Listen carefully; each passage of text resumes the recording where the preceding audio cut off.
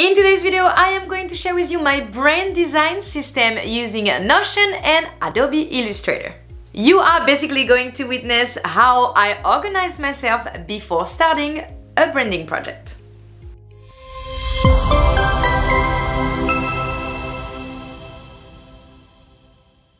For your branding project to be successful, you need to stay organized and not feel overwhelmed. This is why I am using Notion and I made a template called Design System. This design project helps me stay on track with the project I am working on, the things I have done and the things that I have still yet to do. So to be able to show you how this works, I am going to start a new brand identity, new brand design project and we're going to start with how this design system is working on Notion. Alright, here we are into my Notion and I went right away into the page that I created called Designs Project.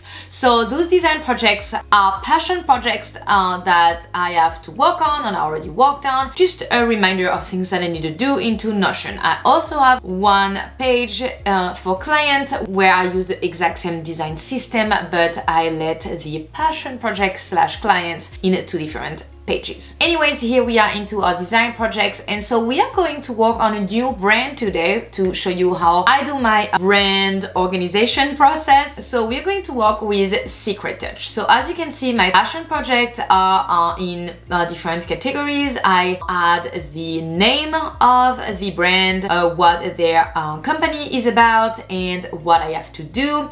So in this case, we need to create the brand identity, make some mockups, do their Instagram post. I need to make a Behance project for my portfolio. And so this is something that I need to create. So let's get started. So when I click on it, it's going to open like this sub page and this is where you can see uh, the design system and we're going to open this as a page so here we have our page I made a cover this is handmade lingerie. You can make a cover of whatever you know the brand is about. So on the tag we have to create, not, I have things left to do, already talked about that. And then when we got started, and we got started today when I filmed this video. Uh, this is exactly the same for a real life client. This is how I will organize myself. Then we have our design system. So here, this is a gallery view. I also have it by statue. So this is current, what we are working on, what we'll need needs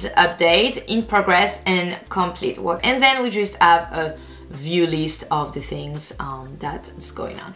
Alright, so let's go to our design system. And so my design system, this is how I like to have it at first. It's a gallery view. So right now the only one that is um, in progress will be the client brief. So in my by statue, I will bring this and put it in progress because we are working on the client brief. Client brief is over, so I will do complete work because I've already talked with the uh, client, which is myself uh, because that's a passion project. So what we did we do in the client brief, what this include? For a real clients, it will include the query form that he filled up on my website. It will also include our brief uh, when we call each other with all the question answer. It will also include any type of uh, informations that the client gave me, their Pinterest board. In this case, my client brief looks like this. I uh, picked up a brief from goodbrief.io so we have like the basic information.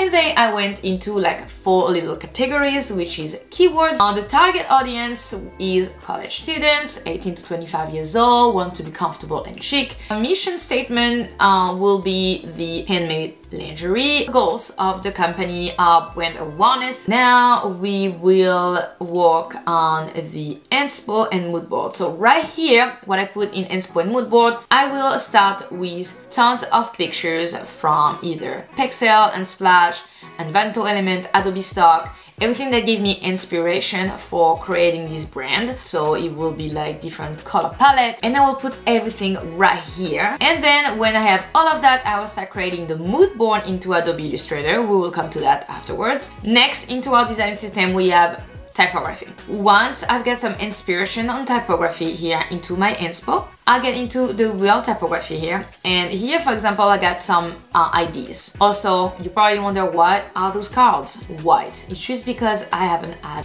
any cover, but I could add a cover right here. This is just aesthetic one. For the typography, I put serif and display. This is what the client one, this is what we want for the brand. So this is just like little notes, comments that I put to myself. And then every little typography that I will find either on Adobe Font, Google Font or Envato Element, I will add the link right here to go pick it up later, download it and add it to my project. Once this is chosen, what I am sure I will add um, typography system, typography guideline right into this board to then apply it into the brand guideline that I will send to the client. Okay. Then we have the color palette. Primary color, secondary color, accent colors with everything about them. The hex code, the CMYK, RGB and Pantone color, so everything is going to be right here for me to be able to build a brand guideline later on. We will also make icons or uh, illustrations. So here we will do the same, some notes on what I want. And once this is drawn, so I usually draw it on Adobe Fresco, on Procreate, and when this is drawn, I will add those sketches into uh, this page, icon and illustration, and every little icons and assets I will also uh, put them right here. And then when we are done with all of that, we're also going to add all of our logos. I usually only add the black uh, version or at least one color version of it. So this is our design system. This is how I work, this is how I stay organized. Now I wanted to show you how I start this design system into Adobe Illustrator, how I set up my document. Alright, so let's go into Adobe Illustrator now. What I do first is opening a new file here is how I set it up. I love to start my project, especially if only for the web, so passion projects uh, with RGB color. Gonna do a 300 ppi and I only start with a little board of 1920 by uh, 1080 and I only add one board for now. So this is what, this is my, just my starting setup. Doesn't mean nothing. And I will do create. As you can see, we have one artboard. I haven't titled my project yet, but it will be titled Secret Touch once I save. The first step is creating a mood board for the brand. I would start adding images and everything that I found from Notion to Adobe Illustrator. So let's quick go back to our Notion and I have made my research. I have already get my inspo so if I click on uh, inspo mood board right here as I was explaining later I'll do galleries. So earlier that was just showing you what I put in it but here is the real example of it. So if I click on imagery you can find all of the imagery that is from the web. I haven't downloaded them. They are all a copy link addresses. So this is the mood that we are going for for this brand. They all look a little bit alike. Then we have our colors. So this is some accent color right here that maybe I would love to use and more like natural effect, natural colors. Then we have the type um, style that I would like to see on the logo and we have a quick texture, some some silk and some lace. So the first thing I will do is uh, make a mood board. So I can either use this artboard that is already made or I can create a new one. Usually I use this artboard just because on this part of the mood board I am um, showing imagery, texture, types, colors and all. And on this part I am quickly add a brief or like a description on the mood board and why I made those uh, decisions. All of the picture that I want to use, I will do that, add them, embed them and then use them on my artboard right? Yeah so this is how I get myself set up. You guys if you liked my brand design system using a Notion and Adobe Illustrator please don't forget to like this video and subscribe to my channel to never miss any of my future uploads. Thank you so much for watching uh, today's video. I cannot wait to see you next Wednesday. Until next time take care and I will see you very soon